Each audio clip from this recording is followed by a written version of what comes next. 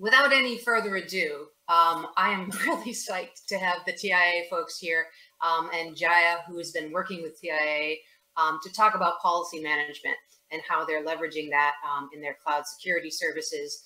Aradhna, thank you very much for your patience with our process and everybody in the audience. Please take it away, introduce yourselves, and I will go off camera for now. Thank you, Diane. Good afternoon, all. Uh, my name is Aradhna Chetal. I am Senior Director, Exec for Cloud Security at TIAA. I'm also co-chair for CNCF Tag Security and Cloud Security Alliance Serverless Working Group. Um, Jaya? Um, thank you, Aradhana, for joining this session. Um, hi, everyone. I'm Jaya Ramanathan. I'm the Chief Security and Governance Architect within Red Hat and also a Distinguished Engineer my passion right now is policy-based governance and policy management and uh, such, uh, which is what we're going to talk about today. Um, go ahead, Aradhana. Sure. Um, so let's step back and look at an enterprise today, especially a regulated financial enterprise. We have some traditional applications, right? Um, every regulated uh, entity or traditional enterprise has all those applications which have grown over time, and then they have cloud platforms, um, possibly multi-cloud. Every enterprise is multi-cloud literally now.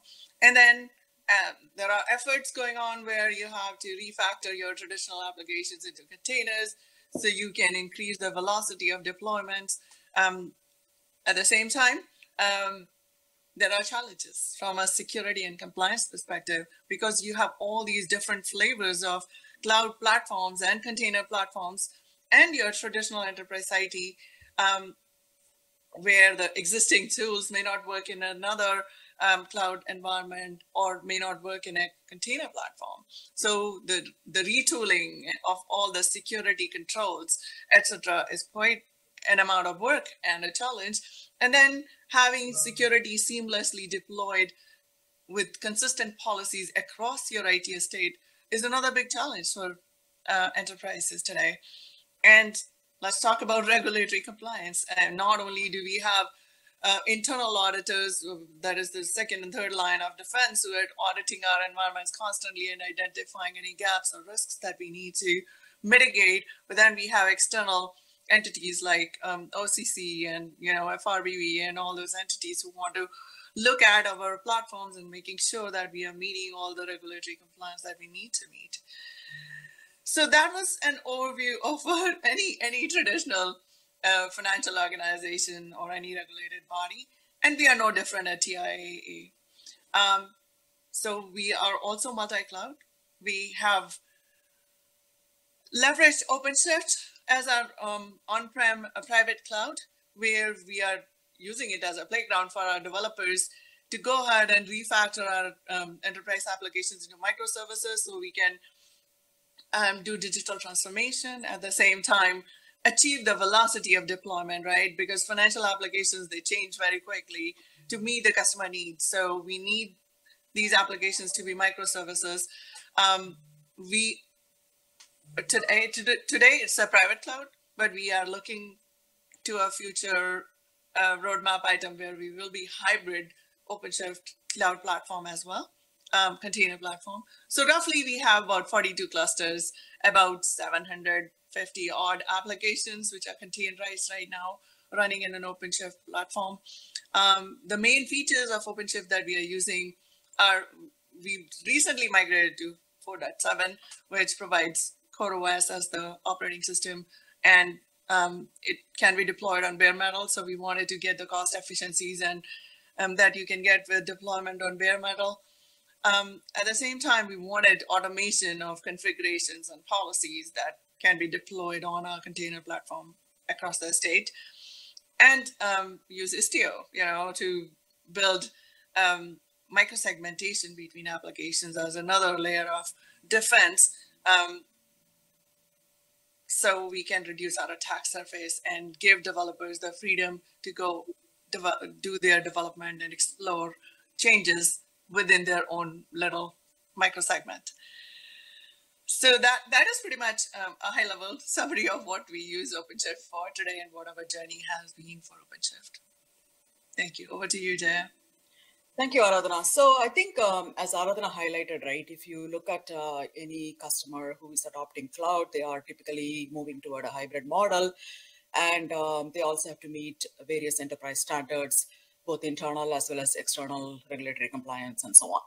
So then if you think about uh, how customers are achieving these goals, right, they have to worry about every layer of the stack. So they have to start at the uh, operating system level, then the container platform, then the middleware, then their applications. And typically, you know, they have to make sure that all these layers are configured properly to meet uh, their enterprise standards and external regulatory compliance requirements, and also successfully pass audits. So really, uh, if you think about a person who is managing this environment, right, the site reliability engineer or the ops person, they are really not experts in every aspect of uh, even security or resiliency or software engineering. And if you consider all those aspects that a customer needs to think about, they're not experts in everything, right? So the idea here is in order for them to really meet all these requirements and do it in a cost effective manner, really what needs to happen is um, we need to make this easy for them using automation and tools, right? And and the way to make it easy is to codify those best practices as policies and manage policies just like you manage source code. So that's the whole uh, premise behind policy-based governance. So from a Red Hat point of view, this is an initiative that we have been pushing for a while. And we have this capability available today in, as part of our Red Hat Advanced Cluster Management for Kubernetes product offering.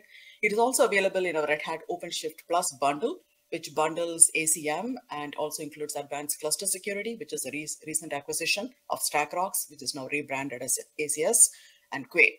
So this policy-based governance capability is available through these product offerings. And um, uh, I also have links here on various blogs we have on this topic, as well as uh, we also have a CNCF Sandbox pro project submit submitted for this as well that is uh, slated to be reviewed in uh, November this year. So let me highlight a little bit about uh, what are the key capabilities of policy-based governance.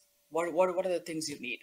First, uh, if you think, think about any customer, including TIAA, right? They're not just managing one cluster. They're typically managing multi-cluster.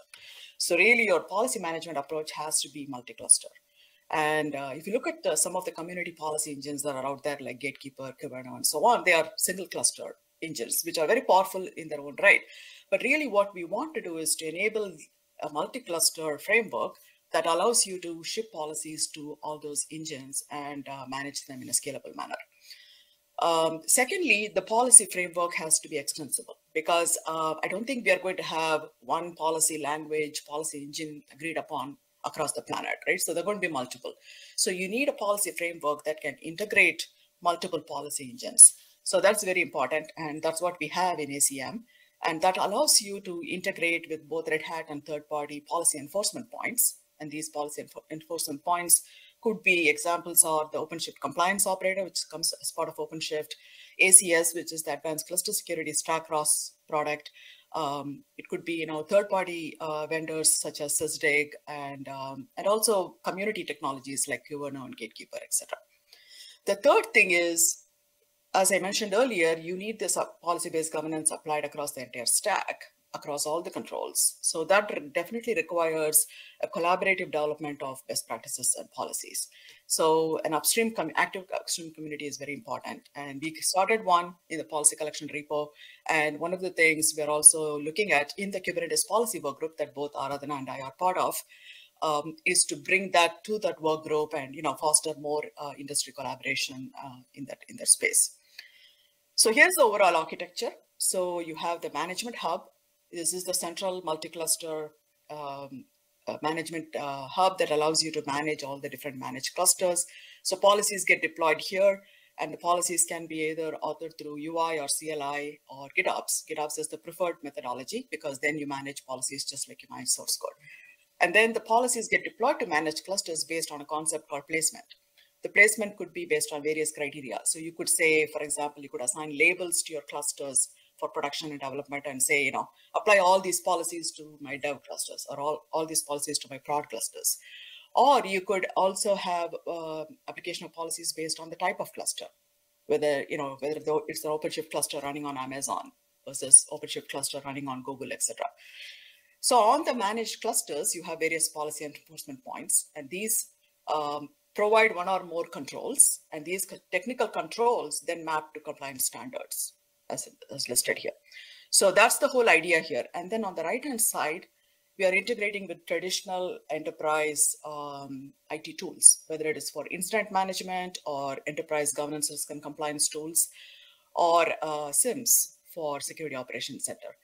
So because like Arthur pointed out, um, customers are looking at adopting um, container platforms as an extension to their existing IT infrastructure, right? So their existing IT infrastructure, as well as IT processes and tools are things that you see on the right-hand side. And we wanna make sure that as they adopt cloud, they can easily integrate with those as well. So I'm going to take a few minutes to just do a quick demo, uh, just to give you a flavor of uh, how these things work. So here is the console for the ACM uh, product. And uh, so you can see that the ACM product provides various capabilities. It provides cluster lifecycle, which allows you to provision clusters as well as discover clusters and bring it uh, into ACM for management. It has uh, end-to-end visibility, which is observability layer that allows you to monitor the performance characteristics, compliance characteristics, etc. It has an application lifecycle that allows you to define applications and then deploy them across a set of clusters and also uh, easily move, move pieces of the app as needed. And it has this governance risk and compliance piece, which is the one I'm going to focus on. So in the governance uh, compliance piece, when you go to this panel, what you see here is at, very, at the top, you see a summary view. The summary view is based on the various standards. So when you define a policy to ACM, you can say which standards it applies to, and a policy can be applied to multiple standards, both internal and external. So that's what you're seeing here. And then we have a set of policies defined here. And you can see that we have policies for a wide variety of controls. So we have policies to, for etcd encryption, policies to deploy various enforcement points like gatekeeper, the compliance operator, as well as Kyverno. And we also have policies that gatekeeper can enforce as well as Kyverno can, can enforce as well. Um, in addition, we have uh, policies for checking on certificate expiration, for example, um, etc. Now, the OpenShift compliance operator, which is a single cluster uh, feature that comes as part of OpenShift, uh, allows you to specify various security profiles and you can, it will then do checks on the managed cluster for those profiles. So here is an example. So CIS is one security profile it supports. And um, you can see that we have used ACM to configure that compliance operator to this security profile, and then it can return results, which you can view centrally from ACM. And you can see that it returns back all for all the rules it checks, the things that are not compliant, it can return back those results. Um, the other thing I wanted to highlight here is um, when you look at the various policies, they can be uh, deployed either in enforce mode or inform mode. Uh, enforce mode is basically the policy will drive the configuration to the desired state that is specified in the policy. Whereas in inform mode, it is more an audit kind of mode where it, if the policy is not compliant, it's just going to flag a violation. So here, uh, as an example, the certificate policy, we have set it in inform mode. So in that case, when the violation occurs, one of the things you can also do is you can configure automation. So in this case, this automation is specifying an Ansible playbook and this Ansible playbook is generating a Slack notification. Um, so by doing this, we are able to uh, trigger notifications. This is the in the architecture chart I showed you on the right-hand side where we can integrate with enterprise processes. So for policy violations, now you can generate, uh, you can open tickets. For example, we also have integration with ServiceNow, or you can generate a Slack message. This, this then allows you to action those things uh, per the enterprise processes. So this is what I refer to as automated governance. So not only can you trigger automation to get to the desired configuration state for the controls by deploying policies in uh, enforce mode, you can also do the same thing uh, using automation that you're defined with a policy in inform mode. And that allows you to also ensure that you're complying to the enterprise uh, IT processes. Um, let me just quickly highlight one more thing and before I turn it back to Aradhana. So one of the things you see here is the advanced managed cluster security, as well as the advanced um, uh, advanced cluster security operator. These are the components of the advanced cluster security, um, which is the StackRox acquisition. So you can see that we can actually use ACM to uh, actually deploy um, the StackRox central component as well as the StackRox um, uh, individual agents on the StackRox clusters. And you can see that the cluster names here are exactly the same names that ACM uh, knows about because ACM is basically uh, determining the inventory and then it is ensuring that StackRox is, is in place on those uh, clusters. And um, so the, as I mentioned earlier, the OpenShift bundle, Open, OpenShift Plus bundle includes ACM, ACS, it also includes Quay. And you can see here, we also have integration with Quay from ACM where we can use this policy, the image manifest vulnerability policy to detect vulnerabilities from Quay. So, so that's kind of a little demo. And then let me conclude by showing you our GitHub. So this is the policy collection repo where we have policies both in the stable and community folders. And we also have a lot of blogs that you can go and read about. Back to you, Aradhana.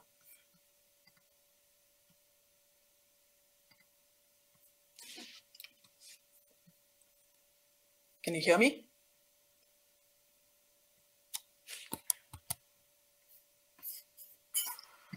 And Aradhana seems to have dropped. So if you could go back to the slides, Jaya. And, uh, sorry about that. She's we've had some little technical snafus, and Okay. um, you may have to talk through the slides for her. Not sure whether she ran out of time because I know she's a very very busy person. Okay, no problem. I needed a drink. Um, so yeah, I can definitely talk to this. So the rest of the presentation, we were planning to focus on the work that we are doing in the Kubernetes policy work group that both Aradhana and I are part of, as well as a few others. So this in this work group, we are focused um, on two efforts in recent times. One is this policy report custom resource definition. So this is a standard that we have defined for returning policy violations, and this is supported by multiple enforcement points such as um, the Falco operator, the um, uh, Kyverno policy engine, etc. So this allows, um, from a management point of view, a standard way to be able to collate the results and then integrate with enterprise tools. The second work piece of work that we are focused on is the Kubernetes policy management white paper. And um, so we we had published it out there for review, received a bunch of comments. If I've incorporated all those comments, and now we are ready to commit the paper, so you can actually see it here. Um, this is the policy management white paper. Um, so that is another uh, uh, really good effort from this work group. Um, and then the other thing I wanted to point out is that we have a policy management panel coming up tomorrow um, in um, in this conference, in the KubeCon conference, that Aradhana and I will be part of, as well as Jim and Robert as well. Uh, please join us there uh, so we can continue the discussion in terms of uh, the what, why, and how of policy management for Kubernetes. Uh, Dan, I don't know how much time I have at this point. So at this point, um, we have hit the end of your half an hour, um, con- considering all of our wonderful snafus. Okay. um, and technical things. So we're going to um, ask our next speaker to join us. Um, it was John Fortin. And so um, thank you, Jaya, and please um, thank Adrana for um, for taking the time today as well. Um, Okay. If you can stay around and um, hop in for a few minutes, um, Jaya, um, there may be some questions there, and just um, maybe add the links in hop in to um, your events that are happening for the rest of the week of KubeCon. So if people want to join there um, and come to those, that would be great. Awesome. Sounds good. Thank you very much for, uh, for the opportunity here. Thank you.